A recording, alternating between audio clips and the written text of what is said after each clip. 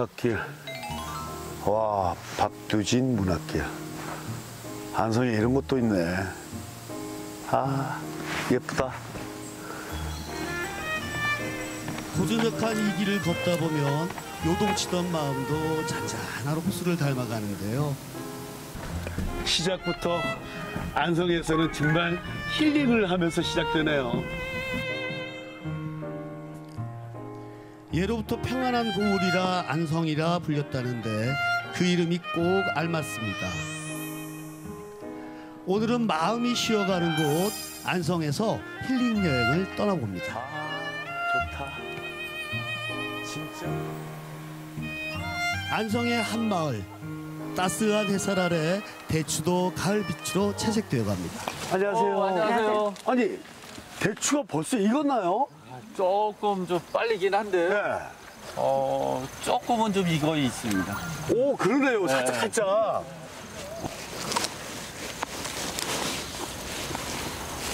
음. 이게 아삭아삭하니 달고 맛있네요. 네. 네, 작년 같은 경우에는 다 30브릭스 이상이고 거의 40브릭스까지도 나왔어요. 작년에는. 올가을도 어김없이 단맛을 가득 품은 대추가 기다리고 있는데요. 최근 이 대추는 안성의 새로운 소득 작물로 떠오르고 있답니다. 지금은 한 몇 가구가 있습니까? 농가가? 지금은 장목반이 네개로 나눠졌고요. 한 그냥 큰 농장으로 운영하고 있는 집들은 한 100에서 한 200여 가구 있는 것 같아요. 와, 굉장히 많네요. 예, 예. 오. 그래서 아들까지 힘을 보태며 대추 재배에 몰두하고 있는데요. 부모님하고 일을 하다 보면은 힘든 점도 있잖아요. 힘들죠. 그러니까는 일할 때 뭐 부모님은 이제 계속 이제 연속적으로 일하기를 원하고 음. 땀 조금 나면 그냥 예. 땀 들어간다고 들어가는데 들어가서 안 나와요? 안 나와요. 우리는 그냥 땀이 절절 흘려도 예. 그냥 그냥 요령 있게 잘 숨는 거죠. 이제 지금 저희가 이제 엄마하고 아들이 이제 2세대가 하는데 네. 농장이 잘 되고 농촌이 좀 살쪄서 네. 삼세들도 와서 네. 누구나 와서 농사 져도 네. 행복하고 잘 사는 농촌이면 네. 가능하지 않을까요 미래? 오. 그런 마음으로 지금 농사 짓고 있습니다. 그래서 1차 생산 외에도 다양한 시도를 하고 계신데요. 제가 대추 조청을 이제 만들었는데 조청이 그렇게 많이 팔리지는 않더라고요. 이게 생각보다. 그래서 이제 아 이 조청을 어떻게 활용을 하지 이제 고민을 하다가 제가 이제 아 강정을 만들 때 보통 물엿으로 하거든요. 그래서 이제 아 내가 이 조청을 넣어서 한번 강정을 만들어 봐야겠다 해서 이제 쌀 강정을 이제 먼저 만들어 봤어요. 그렇게 실패를 걸음삼아 이 먹음직스러운 강정을 만들었답니다. 아까 우리 어머니께서 건강, 그죠? 그렇죠. 야, 이게. 건강한 맛일 겁니다.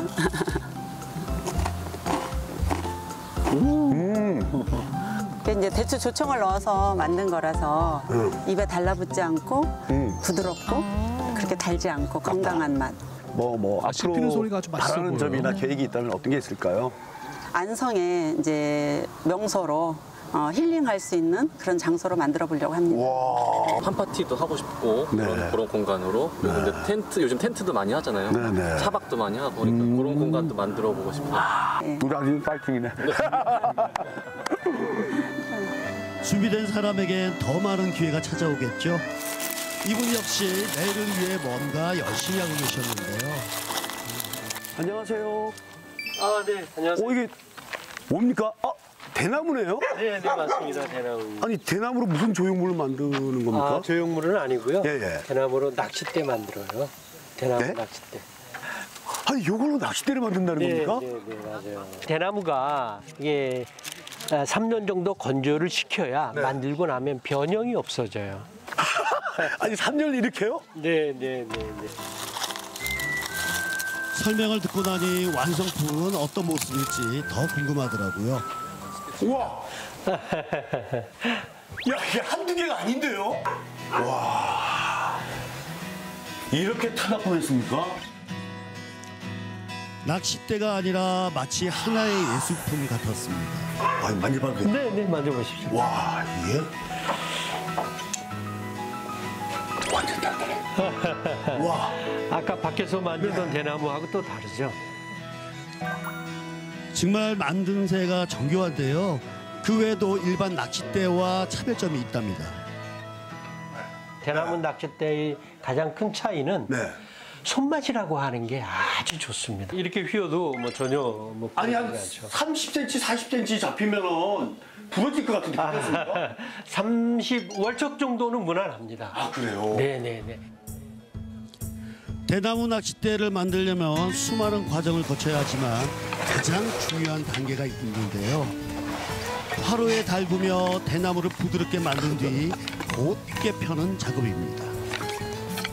이게 대나무가 아주 성질이 못 됐어요. 그래서 이게 열을 가해가지고 대나무를 이제 펴놓으면 얘가 내일 지나면 원래 있던 대로 또 다시 돌아갑니다. 그래요? 네네네네. 일곱 번, 많을 땐 여덟 번까지. 낚싯대 한 대를 만드는 데만 꼬박 한 달.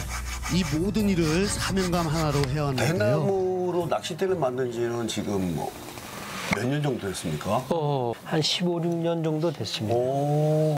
제가 워낙에 낚시를 좋아하다 보니까 네. 외국을 나가면 그 나라에서 하는 낚시를 꼭 하고 싶었어요. 그래서 이제 일본의 바이어랑 이제 낚시를 좀 하고 가자. 네. 하러 가자 했더니 아 자기도 낚시를 좋아하느라고 같이 가자고 하더라고요. 그래서 그 친구 낚시 가방을 열어보니까 대나무 낚싯대가 여러 대 있는 거예요. 아 그러더니 아주 자랑스럽게 저한테 이거 대나무 낚싯대인데 한국에는 이런 대나무 낚싯대 없지 이러는 거예요.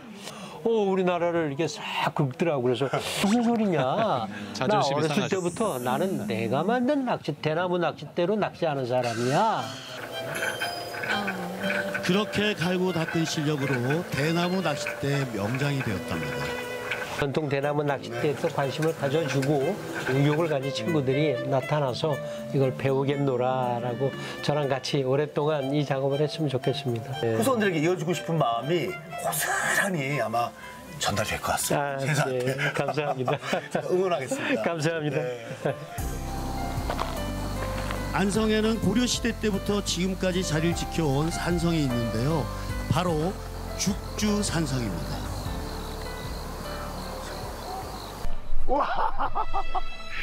저를 위해서 만들어 놓은 것 같은데요. 와, 야, 죽인다. 특히 아름다운 경치로 유명한 포루에 올랐습니다. 와, 여기가 진짜 멋지다. 와, 이곳에서 굽어보니 비옥한 땅이 한눈에 들어왔는데요. 이 넓은 자연의 품 속에서 약초나무를 가꾸는 분을 만났습니다. 아니 뭘 지금 자르고 있습니까? 엄나무 지금 채취하고 있습니다. 여기 백숙에 놀라고요. 아니 오늘 뭐 특별한 날입니까? 백숙 끓여도 지는 거예요? 좀 있으면 바우덕이 축제하잖아요. 예. 그거에서 이제 손님들 이제 많이 오고 그래요. 아, 그래서 미리 이제 주- 준비하시는구나. 예예 예. 여기까지 오셨으니까 뜨끈뜨끈한 이- 이따 백수 한번 저기 대접해드리겠습니다. 아유, 예. 감사합니다. 야, 덕분에 제대로 못 모신 하겠는데요. 세상에나. 야, 이건 보약이다 보약. 냄새가. 10여 가지의 약초가 들어간다니 보약이 따로 없습니다. 여기에다가 쫙한점 올려갖고.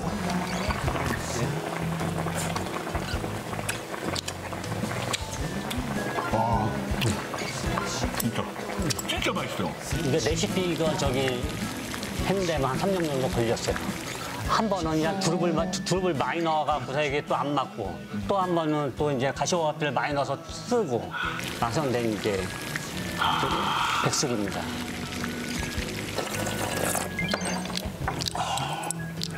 안성 여행 오면은 네. 정말 피곤하고 나른할 때이 네. 백숙이 안성 맞춤입니다. 아. 힐링하기에 안성 맞춤인 고장. 조금도 부족함 없이 딱 좋은 하루가 기다리는 이곳은 경기도 안성시입니다.